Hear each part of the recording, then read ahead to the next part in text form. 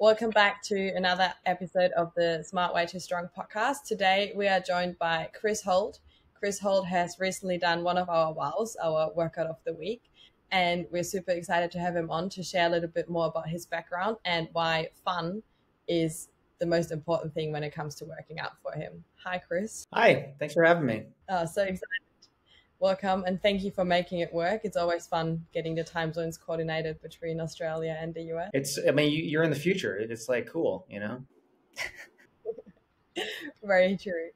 Um, for those unfamiliar with your background and your story, we've chatted a little bit before we started the podcast, but can you walk us through what inspired you to get into fitness and when did you start getting into CrossFit? Um, all right, I'm going to give you the Cliff Notes version. Um, so, uh, I'm an identical triplet. My brothers and I were adopted from Korea. Uh, my mom is from New York. My dad's from Pennsylvania. Uh, so we were we came to the states when we were 16 months old or so, and um, my dad worked for ExxonMobil. So we moved all over the world. So it was uh, Italy, Singapore, London, and Norway. And so for me, in moving to different countries and being thrust into cultures and customs and languages, um, the one thing that I had was sport. You know, like that was something that was universal. So um, my brothers and I loved playing basketball, and that's kind of how we made friends. I mean, people would. We never had to go out of our way to make friends, just because people were fascinated by triplets, so they'd just say hi to us. But, um, but yeah, so sports was just that thing that I identified with at a young age, and I I, I loved it. And so, um, fast forward. Um, I went to the University of Miami School of Architecture. Uh, I was in a five year architecture program. And when I graduated in 06, I um, was working for a firm downtown for a couple years. And I found CrossFit in 2005. And CrossFit was, I mean, the way I found it was through the movie 300, right? We all saw that movie and we're like, what are those guys doing? And uh, I looked it up, and they were training out of gym in uh, uh, in Utah, here actually where I live now, called Gym Jones. And then I started following their website, and then I started seeing that they were getting workouts from something called CrossFit. Looked up CrossFit, and I was like, oh, that's what I need to start doing. So was following that program online just because it was just CrossFit.com back then. Um, and then 2008 hit, building stopped, economy over here most of places crashed. And so I decided to leave my profession as an architect to open, at the time, the second CrossFit affiliate in Miami in 2008, uh, which was scary because, you know, it's that conversation that I had to have with my parents where I, I, I remember getting all my friends together. I'm like, I need to practice this on you guys because I'm, I'm about to tell my parents I'm, I'm leaving architecture. And, you know, I put all this money into my education. I've wanted to be an architect since I was in like seventh grade. And now I'm like, nah, I'm done. And so I remember telling them, and they, I just remember a lot of yelling. Um, you don't know anything about owning a business. You don't know anything about running a gym. And like, how could you just throw away your career and your five year degree and blah, blah, blah. And I was just like, I just feel like this is something that everyone's going to do.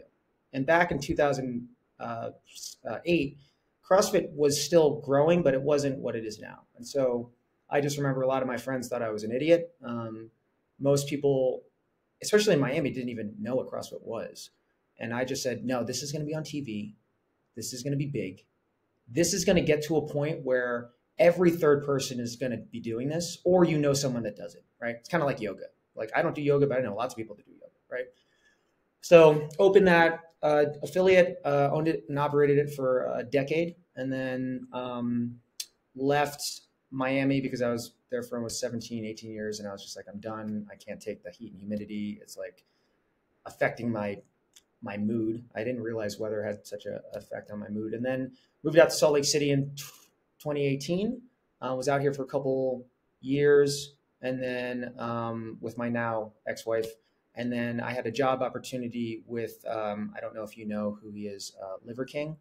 Um, yeah, so that's my old boss, and uh, you both like uh, it was a interesting year, and then um, left that um, to then kind of relaunch my online coaching business, and that afforded me to just be wherever I wanted. So I wanted to move back to the mountains, the seasons, the cold weather, dry climate, and so I moved back out here to Salt Lake uh, like three weeks ago. Oh, so fresh, fresh move. What a journey! It's been a journey. really funny because although I haven't done any of the journey as long as you did, I came from like wanting to become an architect, then to do civil engineering, and then changed and stopped civil and became a PT. And I had a similar thing with like friends and stuff from home. They're like, "You finished best of the school, and you're just a PT." I'm like, "Leave me alone." yeah, and, and what happened was I, I left, and then everyone started getting laid off because building was stopping, and then everyone's like, "Wow, you got out at the right time," and I was like, "Well, I." I, I think my journey has been a lot of uh, luck. You know, I think um, opening your own business, you you quickly realize, you know, you're on your own. You got to make things happen, right? You can't just rely on a steady paycheck. And if you're not, you know, hustling, then you're not going to eat, right? And so then that's a different motivator, right? Hmm. It's interesting how there's parallels between, like, I guess, a fitness journey as well as starting your own business. It's like it really tells like I think all like all of us or I can't speak for you know V but I think what we've all shared in the past is that we all came into this because we were just somewhat I hate using the word passion but we were somewhat motivated to improve people's lives in fitness and, and, and health after experiencing our own journeys. And then as soon as you enter the industry, very quickly you're like, I'm supposed to be an entrepreneur actually. Like and that realization is just so immediate and and and how like yeah it, it's such a cool journey that you've had as well. That that's one thing that i i found more rewarding. I felt like you know i wanted to be an architect because that's just something i always dreamed of becoming. And then when you get out there you realize uh, you know architects i think are um, some levels egomaniacs and they're all about them and it's like i'm going to make this building and design and it's going to last the test of time and this is like my footprint on the world. Where for me i'm like i don't think i'm making a difference in architecture right? Especially when you get out in the real world you realize you're not designing anything. You're doing other people's designs. And then you're like oh this kind of sucks. And then when i started the crossfit gym and, and started working with people on a like individual basis and you know getting someone to lose weight getting someone to feel more confident getting someone to extend their life you know it's that to me you know getting your first pull up getting your first muscle up getting your first pr de- whatever it is in fitness i felt like i'm making a bigger difference on a smaller scale with an individual and that to me is more rewarding right? And so um yeah i mean i still am paying off student loans which bothers me, but like it's like it's okay. It's okay. Like I, I found my path and it's it's all good. Um, but yeah, it's weird. even fitness, I think that we all go through ebbs and flows in terms of what's working for you, right? You know, uh, before CrossFit, I was just doing bodybuilding, right? Like I had four lung surgeries, um, four collapsed lungs, and four surgeries uh, from eighth grade to my freshman year of college. And so for me, it was, you know, going from being very active to going to not being very active and then that you know uh, like drastically affected my mental health. And then you know i was doing bodybuilding because i got to the university of miami after my last lung surgery and i was like 117 pounds. I was like so skinny.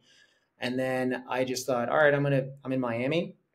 It's all about the beach bod so like just eat whatever you want and just lift heavy and don't work out your legs just wear jeans. It's all good right and then, and then I I ballooned up to I think my biggest was 195 by my uh, because I was in a five year program. By my fourth year of college, I was I'd gained like 70 pounds, and I thought I looked great.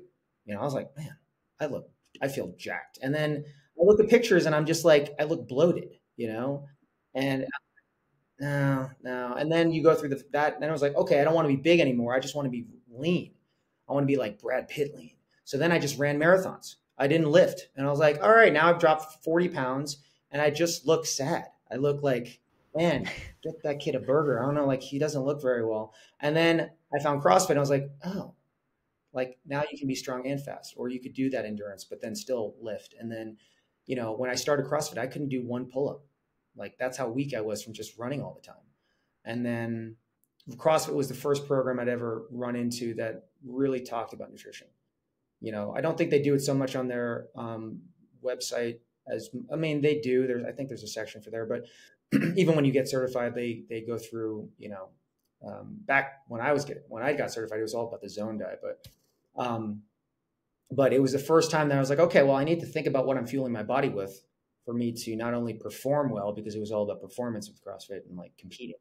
Um, but then it was like, oh, that's how I get abs. you know, it's like, oh, I, I I thought it was just lots of cardio and just do a thousand sit-ups a day. And it's just like, no, dummy, it's nutrition. and then that's kind of how I've fallen into what I do now is just helping people understand that nutrition is the foundation.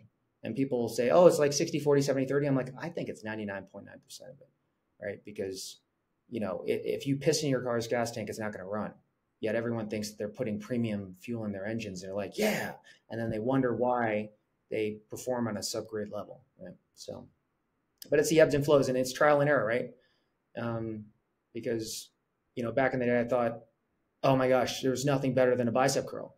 And then when you get into CrossFit, it's like, we don't do that. Like, no isolated muscles. And I actually kicked someone out of my gym one time because they were doing a bicep curl in the corner.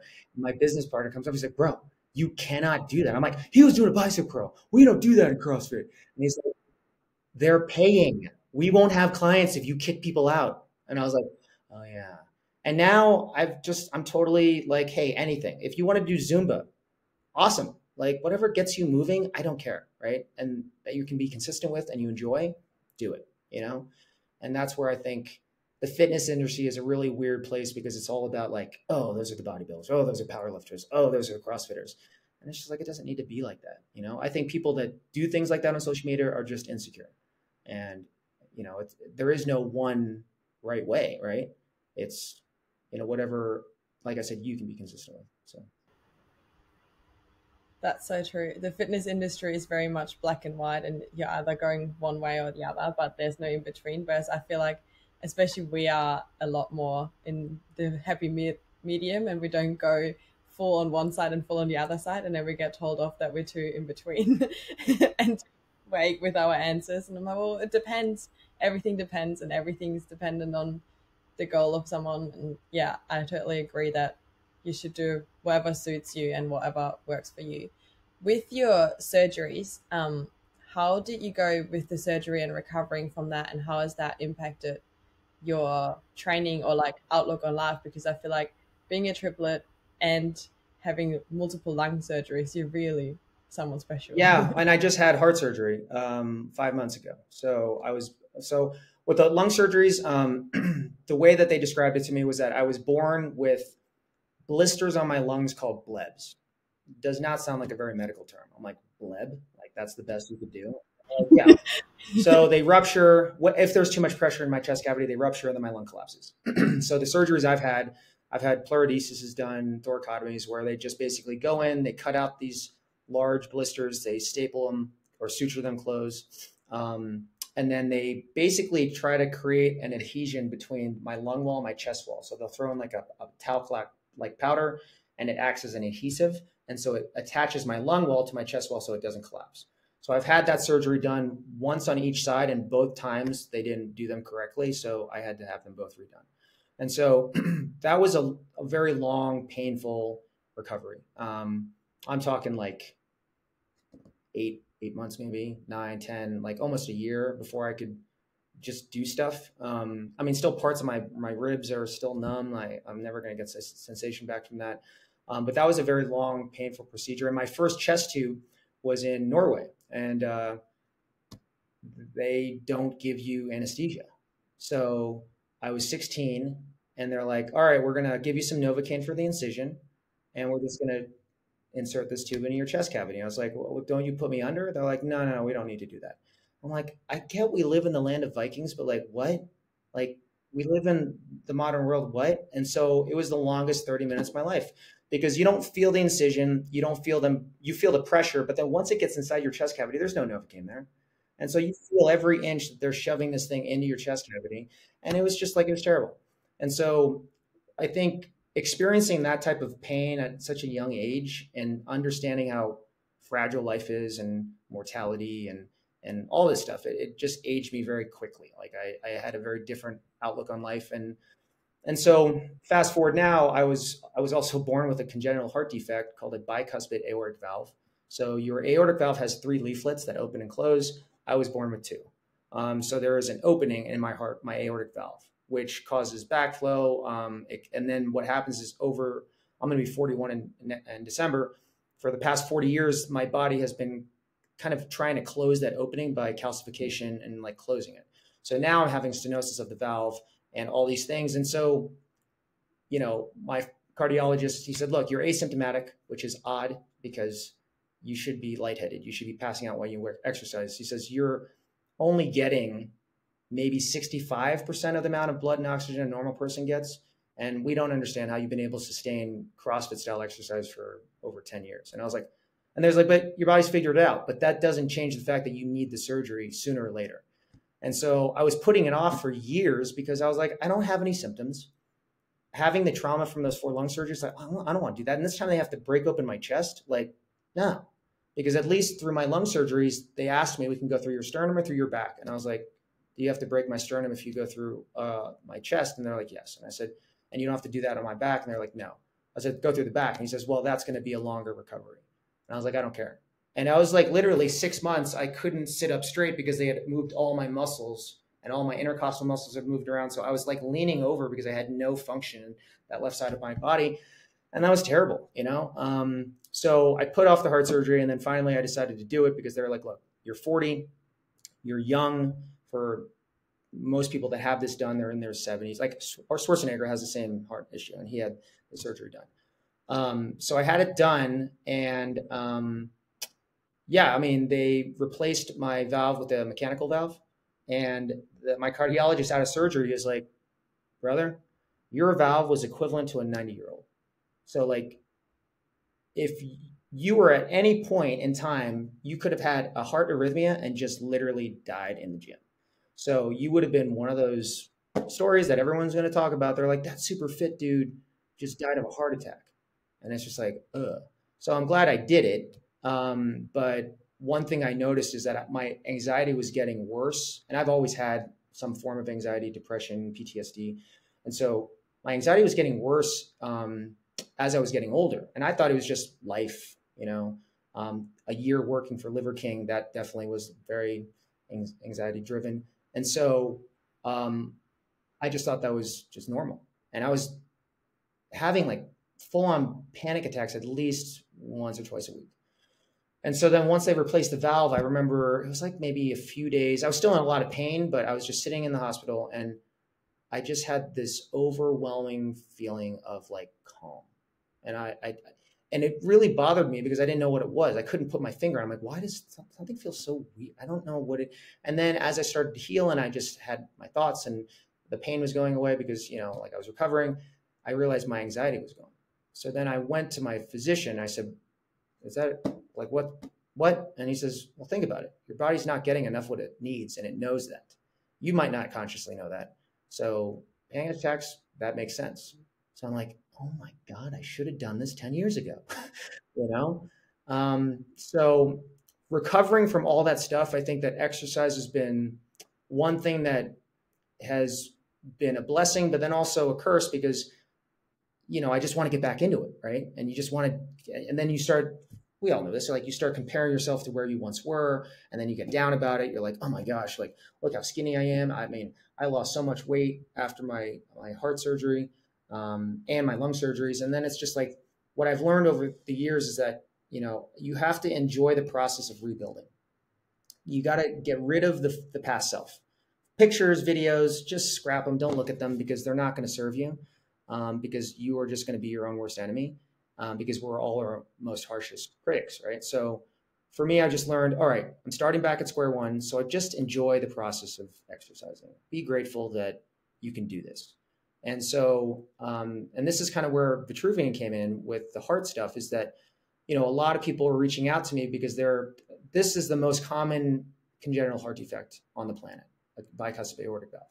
And so, um, a lot of people reach out and they're like, I'm scared to work out again. I'm scared of doing this. I'm scared of doing that. I'm like, I, I don't know what the roadmap looks like.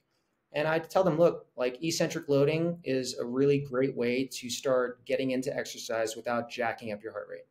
And that's one awesome feature with the Vitruvian, right? It has a mode where you just do eccentric loading. And I, I tell people that reach out and I said, look, if you want to do exercise, I mean, eccentric loading. Just do negatives and then you know put the weight down, you know, and then stand up or whatever it is. But the great thing about the platform and uh, Vitruvian is that you don't. It's a lot easier to do that with, than with like equipment, right? Um, because it's very hard for you to do an eccentric loading movement on a on like a like a bench press and then all of a sudden not have the load there, right? Because it's always there. It's you know. So with the the, the platform, it, it allows you to just deload, stand up, and then repeat that rep. So um, it's been vital for me, especially just for all of us, our mental health. I think exercise is one of those things that it's uh, it's a it has a direct impact on those things in a, a positive way, and you know that's kind of what I want to share. Is just like, look, movement, nutrition, all this stuff is medicine, um, but too often people just overlook it or come up with an excuse why they don't want to do it, and um, you know, it's life is too short, right? It's like I mean, people think they have time, but they don't, you know? Um, so, yeah. I really like what you said about rebuilding and deleting everything because I can only imagine that if you go and you get your fitness level up and then you have to restart again and you get your fitness level up and you have to restart again, that you still keep going is quite impressive because I can only imagine it would be quite hard and mentally challenging to go through like start from zero and you know how far you came beforehand. If there's like other people going through health issues what is your advice if they have to overcome those mental challenges and mental blocks after i would surgery? yeah i would say that if you're dealing with health issues i mean first and foremost you know obviously go see a physician but my issue with doctors especially in this country is that the solution for them, plan A, is always going to be some type of pharmaceutical intervention. And I have no issues with pharmaceuticals. Um, one of my older brothers is a chief resident and professor at Yale University. He's a very smart Ivy League doctor, you know, teacher. Um, but he's the first one to tell you that I'm not trained to talk to my patients about changing their lifestyle. And he's a primary care physician. And he says, look, because medical schools in this country are funded by pharmaceutical companies. And so we're very good at prescribing a medication. And that's how we're trained. And it's a pill for an ill model, right? And and he understands the the, the issues with that, right? Um, so I would say first up, foremost, obviously see a physician, get blood work done. I think blood work is the gold standard to figure out what's going on. And uh, honestly, it's always just nutrient deficiencies. That's it, right? But too often people throw a medication at it, then it creates another symptom, and then you get another medication, medication for that symptom, and snowball effect. So I would say first and foremost, get some blood work done. See where um, you know. There's lots of companies out there just do like biomarkers just to see where you know for men testosterone or estrogen for women or you know um, down to um, literally like your B vitamins or iron or you know whatever it is. You can test for those things. Um, but then the next thing I would say is it goes back to this idea of time. You know, I think turning 40 made me realize that um, like I have a calendar right up here. Uh, it's my life in weeks. And so if you live to 80, uh, which is average, um, you have about 4,000 weeks of life. Right. So on that calendar, I can quickly see that half of my life is over. It's done. Right. So the second half is not guaranteed. So for me, turning 40 and having a new heart and literally a new lease on life, I'm like, I have to be very intentional with what I'm doing, how I'm doing it, who I'm spending my time with. And because we all have this idea that we have time, but you can get hit by a bus tomorrow. So, like, what then, right? Because people just make excuses and excuses. And then all those things stem from a place of fear. And that fear stems from, honestly, like death, right? Like, death is a real thing. Death is something I think about all the time. Um, but it doesn't need to be a morbid thing. I think it can be used as a motivator and um, to give you perspective. And like I said, for someone, and I know lots of people that have been through way worse than me physically, um, it it ages you. It makes you think about the world differently. And as soon as people start realizing, wow, I don't have that much time, right? So what am I doing, wasting my time coming up with an excuse, right? And too often it's it's the fear of, oh, what if it doesn't work out? What if uh, I don't reach my goal. Uh, what if this happens? And then people are always living in the past. And some of the best advice I got at a young age was from my basketball coach when I was in high school. I had my first lung surgery. I was super depressed. And he just said, Hey, you know, I'm going to give you this piece of advice. Um, I'm not going to explain it to you, but you'll figure it out. And I was 16. I was super angry. And he just said, Picture yourself straddling a line. Your left foot's in the past, your right foot's in the future, and you're pissing on the present. And at 16, I was like, Ugh, well, that's, that's a weird visual. Like, what's that mean, coach? And he's like, Get out of my office, you'll figure it out. And for years, it haunted me. And then I realized, look, it's water the bridge. Take the silver lining from things that have happened, but that's it. It's done. Let it go. And then living in what ifs, you can't predict the future, right? So if you want to dictate where you want to go in this life, you have to focus on what you have control over, and that's in the present. And it's hard, right? It's hard to be present. I mean, I've read all the books, Eckhart Tolle, Power of Now, like awesome, but it's difficult because our minds are always wanting drama. It always wants to like create some type of friction. And um, as soon as you can kind of slow down and again to go back to your question it's just telling like helping people realize like look you don't have that much time. So like you know you only have one ticket. You know why why live in misery? Why live with this chronic issue? Why live with whatever it is and just accept it? You know that's kind of a sad life you know so i i i really implore people to stand stand back and just realize that people have more agency in their lives than they think and it's just because we're focusing on the wrong things. Because when you focus on things you don't have control over, then you feel like you have no control in your life. But if you can focus on things you do have control over, then you have more agency. Wow. so, yeah, I'm just taking it all in. yeah. So such good smart advice. I think people get really caught up in like worrying about the future and always thinking what's next, what's next, what's next when that you said it like we should really just enjoy where we at and focus on what's right in front of us right now rather than worrying about everything that has happened and everything that's going to happen. That's really, really cool.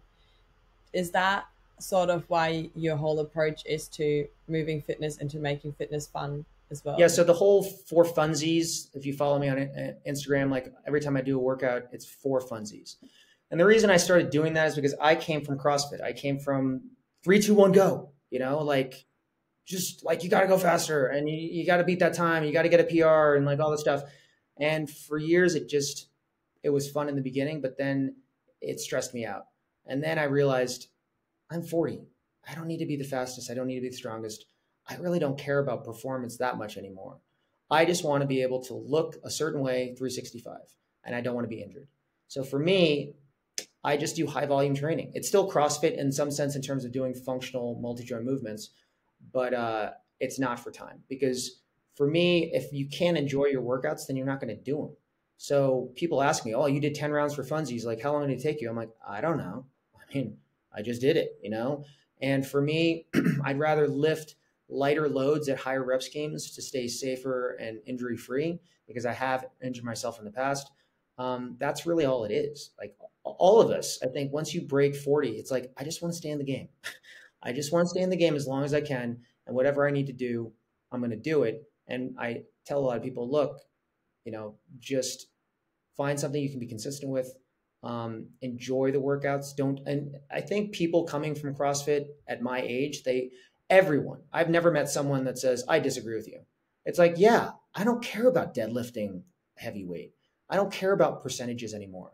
And it's like, I just want to not be injured and I want to still look good naked. And I was like, yeah, me too. We all do, right? So that's why you got to focus on what you're consuming in terms of food and fuel, hydrating, focusing on sleep, um, you know, and all the stuff that honestly I that Liver King promotes. I do believe in. I do believe in the ancestral way, right? Is getting early morning sun, you know, cold exposure, heat exposure, um, spending and making time to bond with loved ones, creating connections and relationships which are only going to serve us better as we age. Because sooner or later, you know, I've come to grips that I put a lot of self worth into and my identity and self worth into my physical stature. And I realize we all know this. I mean, sooner or later, my body's going to fail me. And so I, what am I going to do then? Right. And that kind of scares me because I'm like, oh my God, I'm going to get, I'm really depressed. Like I'm depressed now. Like I'm going to be super depressed. But then I realized it's about your relationships, you know, your, your friendships, your, your, relationships with your family members, and all those things. Because if you can have deep, meaningful relationships, that will extend your life, right? So it's little things that people overlook that will pay dividends in the end, but you got to start yesterday, just like nutrition, just like exercise. People are like, you know, I lifted, you know, five days this week. Why don't I have abs? I'm like, that's not how that works, you know? So, you know, I think it's, um, it's, it's hard, you know, because I think, especially now, there's just too much information on the internet and people get so confused and they get overwhelmed. And then people are always demonizing one thing or the other. And trust me, I used to do that. I was the demonizer. I demonized food, I demonized other fitness programs. And as I've gotten older, I'm just like, no, all that stuff is garbage, right? There's no such thing as good or bad food. There's no such thing as healthy or unhealthy. We need to change our relationships and psychology with food because as soon as we start demonizing food, then we create this negative stigma around that food. The food is not the problem. It's how often are you eating that food, right? It's lifestyle habits, it's your routines. And so, and even with fitness programs, it's like, hey, you want to just power lift? Impressive, cool. You want to be a bodybuilder? Have at it. I could never do that. Like that's a full time job with the eating, you know, like real full time job. You know, I have friends that go out in their cars and eat while we're out. And they're like, I'm going to the bathroom. I'm like, you don't need to say you're going to the bathroom. Just say you're going to the car eat your chicken and rice or whatever you're doing. Like, it's okay. Um, but whatever it is, I'm, I'm a fan of it, right? And I think that we need to be more like that because I think also we live in a world where everything's all polarized and it's like, you're going to offend someone. And it's like, look, you know, it's because everyone's trying to pick a side. And I, I'm like, there are no sides. I think it's like same team, same team, but no one ever sees it like that, right? So. Do you have any um, tips on making nutrition a little bit more fun because I feel like training people understand to some degree, and I feel like nutrition is always the one where people struggle the most with. Yeah, so that's a good question. I don't know if I've ever made nutrition fun. Um, I mean, if you could do that and bottle it, you could be a millionaire, right? um, I think for me, it's more about helping my clients on a daily basis because that's the only way that change is going to happen. Because without daily accountability, consistency drops to zero. And without consistency, then you, it's physically impossible to create a new habit, right? So, my program and what I offer to my clients is a system where you are having a coach that is holding you accountable every day. You send three food pictures a day. And look, there are tons of different plans out there in terms of nutritional plans, and they're all great. I, I have no issues. I mean, veganism, I can say, all right, look, I'm not against veganism, but you are going to be anemic. You're going to be deficient in a lot of like major macronutrients and micronutrients. Um, and I get the whole, you know, ethical thing, and it's like, okay, fine. Um, but at the end of the day, you know, there is no one size fits all plan for anyone, right? Um, but I do believe there's a good jumping off point for everyone, and that's just starting with three balanced meals a day, you know. And we can get into the intermittent fasting and stuff like that, but then, you know, intermittent fasting, I think, and most of my clients are women. I'm like, you know, based on hormones, it's not always the best, especially if you're going through perimenopause, menopause. I mean, crushing your eating window down to six or eight hours, I just don't think is a good idea for your hormones, right? And a lot of people don't think like they just think, oh well, it's easier to lose weight that way, or it's it's just easier for me to do that. It's like okay, but also you're not going to be able to cram all the nutrients you need in six to eight hours, and you're definitely not going to hit your protein. And at the end of the day, protein is king, you know, for all of us, men and women, and everyone in between, because as soon as you start losing muscle mass, you're out the door. And we see this with cancer patients all the time. So you need to keep muscle mass on, and that the way you can do that is eating foods that help build muscle, right? Um, so in terms of making it fun, I, I don't know if we can make it fun, but allowing giving them the support that they need on a daily basis, in my experience, is the best way to help someone in the moment. Because if you get triggered by something and then you want to go cope with food and you have no one to talk to, you're probably going to take the path of least resistance and like eat a cookie or cope with alcohol or drugs or whatever it is. So if you have someone there to say, hey, I'm at this event right now and there's a big platter of cupcakes and I just want to eat them. It's better to have someone say, hey, you know what? It's not that you can't have them. tell yourself, you, it's not that you can't have them, just tell yourself you choose not to have them now. Because I want people to treat themselves with food only once they have control. And it's a conscious choice they're making, and it's not an emotion or food making the choice for them, which is typically what it is. So as soon as we can start changing that psychology, giving people more control and helping them realize that I can control this. I don't have to give in to these things. And more importantly, we need to talk about how to manage stress because that is the underlying cause to and the, the root issue as to why we all make the choices we make is when we're stressed. So if you don't have good stress management tools, coping like like just like box breathing, super easy thing you can do. Just run in the bathroom, just do it for three minutes. I promise you, it'll bring your heart rate down, right? In a stressful situation but people don't know how to manage stress. So that's why things go off the rails. So I wish I could make nutrition fun. I think the fun part about nutrition with me and my coaches is that, you know, I laugh with my clients all the time, you know. Um, you know, like I have one client, uh, I have this this thing I tell my clients to do. Like um, in the beginning, it's tough changing nutrition, changing, cutting things out, eliminating things for a little bit. And so she just said, everything's going wrong. And I'm like, okay. I'm sure not everything's going wrong, but like, I get it. And then she says, no, everything's just falling apart. I said, okay. I said, well, every night this week, I want you to take a notepad, not in your phone. I want you to physically write it down. Write three things that were positive, three wins, three, just three things you're grateful for at the end of the day. So this first night she does it, she texted me. She's like, I have nothing. I said, okay, just take a second and think. So she's thinking, she's thinking, she's like, well, um, this is going to sound like TMI, but like this morning I had the best poop of my life. And I was like, win, win, write it down, write it down. Like, that's a win. And she's like, really? I'm like, yeah, yeah, that's a win. She's like, oh, oh okay, okay. And so then that snowballed. And then she's like, okay, I can really find little things in my life that might seem random, weird, gross, whatever that are little wins. And I think that once you you go to bed feeling a sense of gratitude, you're going to wake up in a better state than going to bed thinking like life sucks, everything sucks. You know, it's like the the movie, the Lego movie, it's like everything is awesome. You know, it's like that's like I want I want you to feel like that. Like everything is awesome. Like it really, honestly, life is for the most part for most of us is you know it's easy to focus on the dark stuff, right?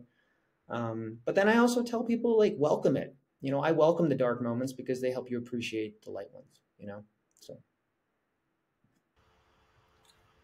So much powerful stuff there again. I think the gratefulness is one of my favorite things, and we do it sometimes in our meetings as well, just to get back into the sense of things. And even if you're just grateful for the weather or coffee or whatever it is, it can be like a super small thing, but it just puts things into perspective. Yeah, yeah. I mean, at at Ancestral Supplements, when I worked for Liver King, like that was a, a ritual we did at the meetings. We would always share three wins, or you can share struggles. But the rule was you always start with the struggle and then end with the win. Um, but it's just it creates positive momentum, right? Especially from a team building aspect of it, right? Um, so for my program, there's also a community group, and that's a place where people can share wins and struggles. And then it's like, look, if you're going through it, I guarantee you someone else has too, right? Um, because the funny thing is, is that working with people for so long with nutrition, as much as we are all so unique and different, it's all very similar issues we all run into, right? And I don't think it's an issue of I don't know what's healthy, unhealthy, or whatever. Um, which in the beginning, that's what they always like. What's what's healthy? And I'm like, let's get rid of that word. Let's just because I don't even like the word diet. I say, look, we're just on a plan. And that plan will change as you change, like all plans should. But most plans don't. It's a very, this is it, you lose the weight, bye bye. And then they give you no tools to thrive on your own, and it's done by design. So you, they know you're going to either gain the weight back or resort back to old habits and patterns, and then you're going to come back and give them more money. Right. My goal for my clients is to get them to a point where they can fire me. That's the goal. I don't want to work with people forever. Um, but ultimately, it's helping them understand that, like, you know, it's not it's not about you know focusing on what's healthy what's unhealthy or anything like that. I'm like look it's most people understand that real whole food foods that are you know you know have high fiber content are better for gut. Like people know these things right? It's like okay eating you know ice cream or some fruit everyone knows fruit is probably better for you, right? Um, but I what I've experienced is that it's people just don't have very good management skills within their lives, right? Especially parents, because it gets hectic. And it's mothers. Mothers are superheroes, right? Like they're selfless. It's they always put themselves last and they don't expect anything in return, right? And it's just like, yeah, but you got to take care of yourself, right? And there's too much of the stigma that if you take care of yourself, then you're a selfish mother, you're a bad mom. And it's just like, that's a terrible thing that women believe, right? Because that's what societal pressures have ingrained in them. But I tell them, look, if you are on a plane and the oxygen masks fall down, whose mask do you put on first? Yours, right? Because if you can't breathe, then you can't help a kid. So, like, if you're not taking care of yourself, how are you showing up for your family? How are you showing up for your kid? You know, not in your best form, right? So I said, look, you need to be selfish, and we need to change the stigma of that word. Being selfish is not always bad, you know. Um, so, but it's all psychology. That's what it is. It's all psychology. And if we don't talk about psychology, then no real long term change is ever going to really happen um, because, you know, programs can get people to lose weight. But if you don't talk about their triggers, their traumas, um, then in my opinion, th- they will always resort back to those old patterns. 100%. Um, if there's someone coming to you in their 40s and they are a mom and they are having a busy life and they haven't maybe exercised or they haven't exercised in years, what's something that you get them to do or help them with to stay motivated or get started Um, when they're first? So to ask someone that has been sedentary and just not taking care of themselves, to ask them to, hey, we're going to focus on nutrition, and by the way, you need to work out four to five times a week, success rate drops to zero. So I always say that nutrition needs to be, you need to put all your mental bandwidth into that. Until things start to feel automated, that's your main focus. And then from exercise, that standpoint, I'm like, walk. Walking is low hanging fruit. It's overrated. Um, or sorry, it's underrated in the sense that people think, oh, walking, you're not going to do much. It's like you can burn a lot of fat just by going for a walk, you know? And we don't need to hit that 10,000. 10,000 steps is just a bogus number. That was a marketing thing that some Japanese company did with a pedometer. Um, 8,000 steps is really great. If you can get 8,000 steps, which is really just, you know, a 20 to 30 minute walk in the morning and the evening, and you could break that 8,000 step, and it's easy, right? Um, and I always tell people, take the stairs, don't take the elevator. You know, any anytime I'm in an airport, I always take the stairs, and I love it because no one's taking the stairs, and I see all these lazy people on escalators, and I'm like, lazy. And so, you know, I feel that's like, mm, yeah, I'm, you know, it's like that's cool. I feel good about myself. So I would just tell people that you need to focus on nutrition first because that's the hardest part. And then if you don't want to get into a crazy exercise regimen, then just start walking. You know, so. I love that. Good advice. And now that we've got you on Vitruvian and writing workouts for our member base, what has like sparked your interest to sign up with Vitruvian outside of the eccentric training, like you've mentioned before? And where do you see like what was your first impressions? Where do you see your workouts going, and what can users expect from your workout outside of just having fun and not time based? Yeah, what got me interested with Vitruvian, I think, was um, well, the only reason I knew about it originally was because Liver King um, uses it a lot, and so I'm like, okay, that's pretty cool. Like he has two of them, like ship with him wherever he goes in the world, and he's always just on this platform. And then when I physically used one for the first time, um, not only was it fun because it's just a different it's different. And then you realize that this is a, a really really impressive piece of tech. It's not cheap. It's not in terms of the feel of it um, that mag drive and that platform is like legit and it's humbling right? And i think also one thing that i've liked about it is that now i'm not concerned about the weight. Because lifting 90 pounds on deadlifting 90 pounds on that vitruvian compared to deadlifting 95 pounds no not even it doesn't even i'm like at first it messed with my head. I'm like why am i struggling? It's only 90 pounds. Like but this feels like it's like 225 right now.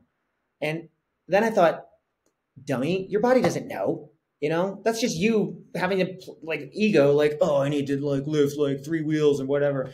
And i, I just i loved it. And i liked the fact that for people that are trying to start a, a home gym you know, yes, the price point for the platform is higher than most people would want to spend, but if you break it down, it's cheaper, right?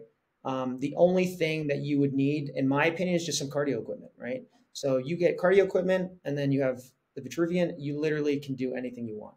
I don't care if you're a power lifter. Um, okay, Olympic weightlifting obviously probably can't do too much of, obviously with the um, the platform as well, uh, besides having a barbell. But other than that, it's it's it's so much less space.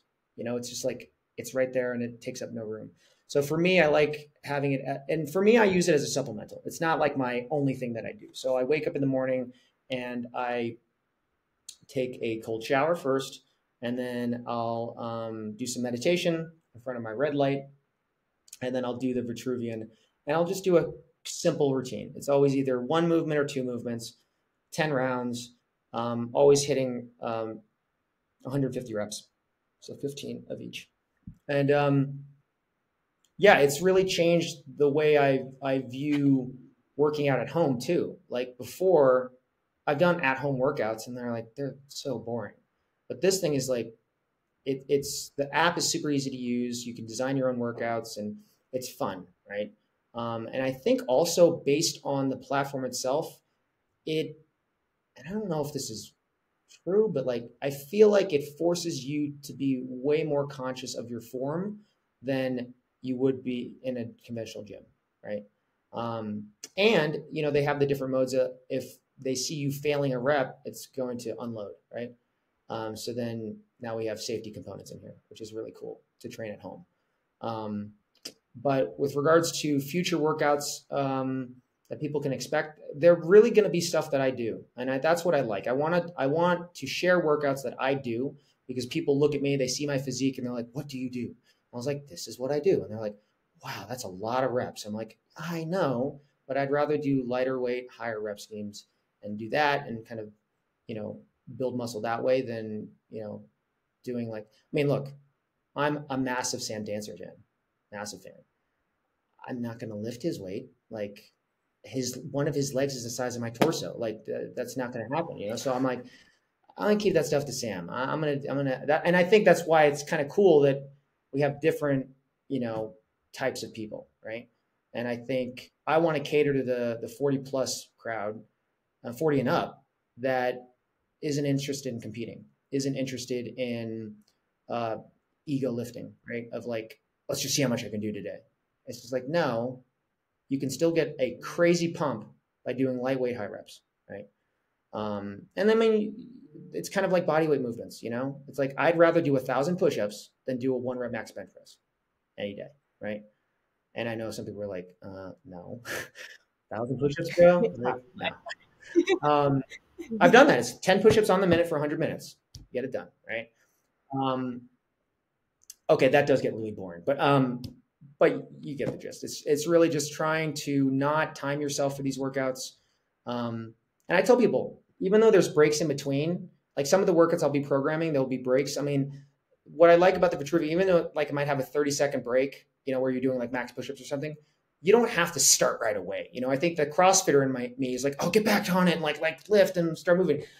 There are times where I do my workouts and I literally might take two minutes and just like eat some watermelon. I don't know, like just like I'm not in a rush, you know.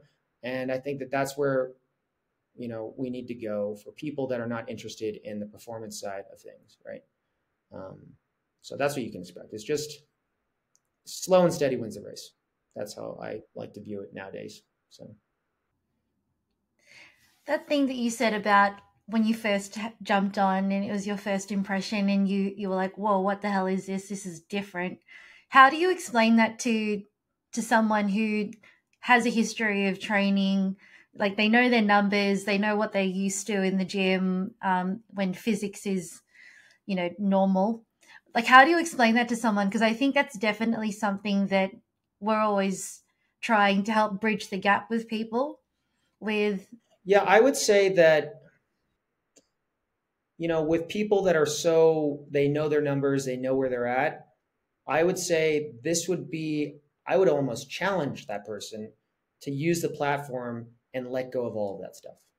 And that's hard, right? Because it's dogmatic. It's like, this is my religion. This is what I know.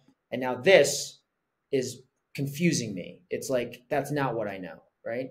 And I think there's something liberating about it that I have experienced personally. Once I just let it go, it's like, okay, like I literally the other day, I was like, okay, I'm gonna do like I think it was like 120 on a back squat. I was like, I'm just to see what this feels like. I failed the rep. I was like, oh, I'm not standing this up. And then I'm like, for a split second, I'm like, uh, I'm I'm trash. I'm worthless. Oh my god, like I'm weak. And then I was like, what's wrong with you? Like, just let it go. Like your it doesn't matter. Like it's almost like people that are chasing numbers on a scale. It's like, okay, let's let's just forget the scale and just just be be present. And that's what I like is that I don't need to think about how much weight is on the bar. I just need to think about focusing on form and range of motion, right? And that's it. And I think that that could, it's a really neat exercise for people that are like so crazed about numbers. Uh, and I said, look, it, it's actually kind of nice where, you know, because also people lift those numbers in the gym because they want people to see, right? Like, look how many plates are on my bar. Look at the bar bending. What did Hugh Jackman say when he's training for Wolverine? He was like, if the bar's not bending, you're just pretending. And it's like, okay, that's funny, but like now people are going to jack themselves up because they need to have the bar bending, right? And at home, there's no one, right? It's like, who am I trying to impress? Like, I just want to get a good look at it. And so I've been able to do that at home, and it's nice. It's nice especially for me, going to the gym, having a huge pump and being like, wow, I just got some strength training in. Now I can focus on body weight stuff. You know, if there's a, obviously I can do pull ups in the gym, which I can't do at home. And so then I can, you know, tailor my workouts for the environment. So, but it is hard. I'm, I guarantee you, people that are so used to, and I come from that world too, where it was hard at first, but then I realized it was just like ego. And I was just like, okay, let it go. Like, just be present and, um, you know, just have fun. So I just, I play music and uh, truth be told, I, my guilty pleasure is like pop music. So I'll work out to Taylor Swift and stuff. And people always like, are you listening to Taylor Swift? I was like, what's it? like, she's like, that's a power song. Like, whatever. Um, you are taking literally every question I have on my list. You're already answering before I can ask the question. One of my rapid fire questions was, "What's your favorite workout song?" Oh, my favorite one right now, I think, is, uh, I mean, honestly, any Taylor Swift song.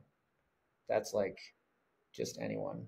Um, you don't have the ultimate like hype um, Taylor Swift song. Uh, no. There's got to be one. No. Surely. Okay, if there's one, I'm trying to think of my playlist that I'll like play all the time that I.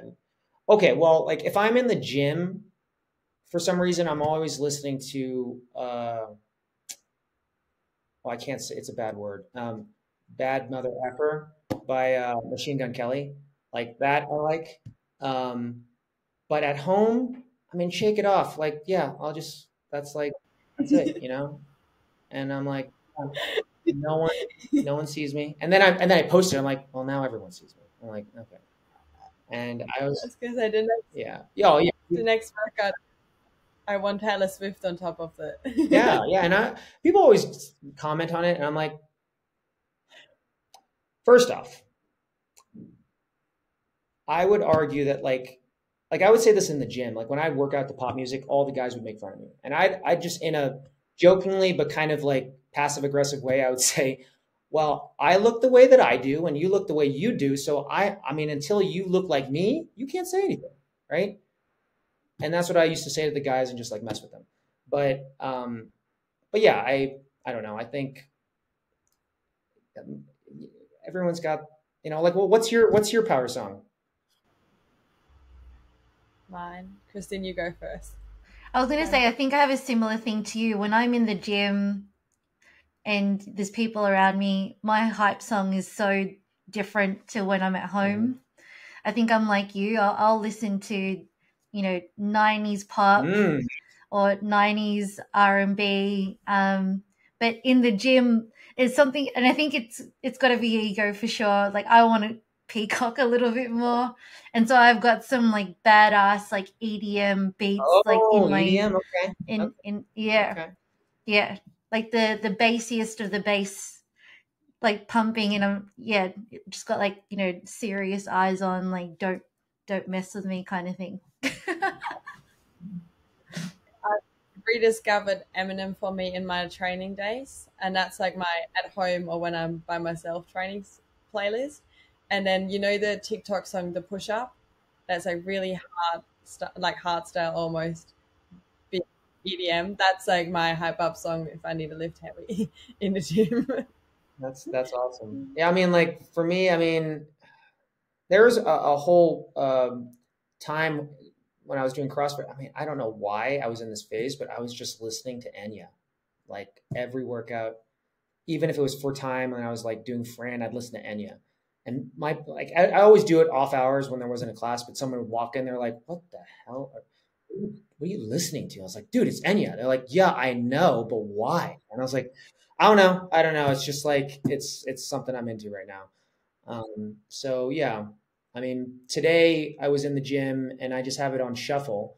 So it was anything from, you know, that one one hit wonders uh, band Metro Station, Shake or Shake Shake It. Yes.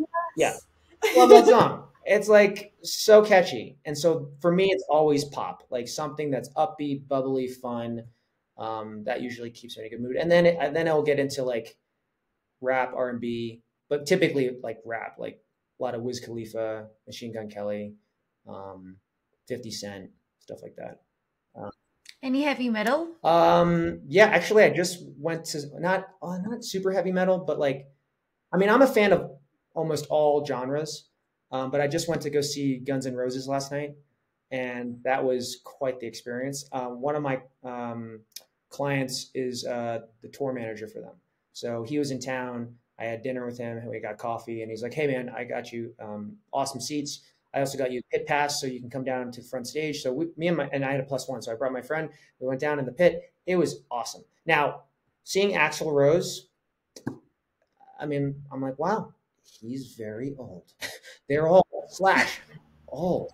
They all look so old, but like, whoa, impressive, right? They could still rock out. I did not know their full catalog and you didn't need to. They just it was there. It was great. It was it was so much fun. Um, and of course, they saved Paradise City for the very last song, um, so you had to stay. But I would have stayed anyway. It was awesome. And Slash, I've never. You're so close that I'm like watching him shred on that guitar. I was just like, I can't even move my fingers that fast by themselves doing nothing, right? And he's playing an instrument. It's just it, it was insane. So it was cool. But heavy metal, mm, yeah, I like you know Rage. I wouldn't even say Rage is heavy metal, but like you know Metallica, you know all that kind of stuff. Um, I I'm not opposed to like death metal, like screaming and like, like that stuff is kind of cool once in a while, but um, you know it's uh not my go-to. So yeah, I think like I, I wasn't thinking death metal, but when I think about death metal, I just think it's just so aggressive, and I I just I feel attacked almost. Like I don't need to feel yeah, attacked I'm like, I'm when I'm enough like, stress on my body right now through exercise. I need yeah. to add more stress psychologically. You know? Yeah. I yeah. Yeah. I'm. I'm. Yeah. That's where I'm at. Fair. Very cool. The um, next rapid fire question would be one exercise you can't live without. Oh. Oh, if I choose one exercise. I would say the pull up. Um, because it's such a great exercise. And more importantly, I mean, I always tell people, hey, if you're hanging off the ledge of a building, you can't pull yourself over that ledge, your life is over. And they're like, whoa. And I was like, yeah, so maybe you should learn how to do some pull ups. And so I would say that because everything else, you know, you can like squats, you can just do air squats and stuff like that. But like equipment based stuff, I would always say just a pull up. Um, but for me, my favorite movement is the GHD sit up, and that's just I'm obsessed with it. I do like 300. Such a CrossFit I know, I know, but I do I do so many. I do like 200 to 400 reps a week, and um, it's uh, it's my favorite movement for sure. Um, so yeah. Okay. Um, what's the best place you've ever exercised in besides pulling you up from the edge of a building? Yeah. Uh, I would say one of the coolest places I've worked out at was the Tulum Jungle Gym in Tulum, Mexico, um, which is the famous one that everyone is like, it's all over Instagram. That was the coolest place, um, just because it was so iconic and it's just right on the beach, and it's just like this is so cool. All the weights are wood, and it's just like so cool. So that would be one of the coolest places. Um, but I did go to a CrossFit gym in Warsaw, Poland, which was super cool. Um, that was a cool experience. But yeah, I would say Tulum. Nice one. I like it. The classic Instagram. Of course. Gym. I even did an Instagram reel on it where I was like, it was this trending audio file. So it's like me, um, what was that? Uh, I put the phone down and I step on it and I pick it back up and then I'm in a different place. So I had planned this. I'm like, we're going to Tulum. Oh, this is gonna be awesome. So I pre-record this first thing and I'm like, this is so silly. I'm taking this video. Then I'm not going to take this. I'm not going to finish this video until we're all the way there. And then once I, it all came together, I was like, oh, so it was worth it. So cool. Gotta do it. And lastly, your go-to post-workout snack um, meal. I, for me, I like doing a, a protein shake. So um, I actually am in the process of starting a supplement company. So what I like is just 100% beef isolate. Um, I don't. I know that there, whey is really great, but whey I just it upsets my stomach, and I I just don't like whey protein. So I like 100% beef isolate. Um, so and it's just that's it. And so the protein powder that I'm going to be um, you know selling soon, uh, the name of it is Basic AF. And the reason I wanted that, and I trademarked it. So like I just filed for the trademark, which is awesome. But I, it's all this kind of this play on look in life, you never want to be basic, but when it comes to your protein powder, you need to be basic AF because honestly, I still want to promote real whole food, right? So it's like, hey, if you want a peanut butter protein shake, then put peanut butter in it. Don't get a synthetic peanut butter flavor. You want banana, throw banana in. So what I like, my thing is going to be uh, frozen wild blueberries um, almond milk, um, almond butter, crunchy, gotta be crunchy, and then uh, banana, and then two scoops of that beef isolate, and that that to me is like a dessert. It's like so good. Uh, so that's my go-to thing post workout.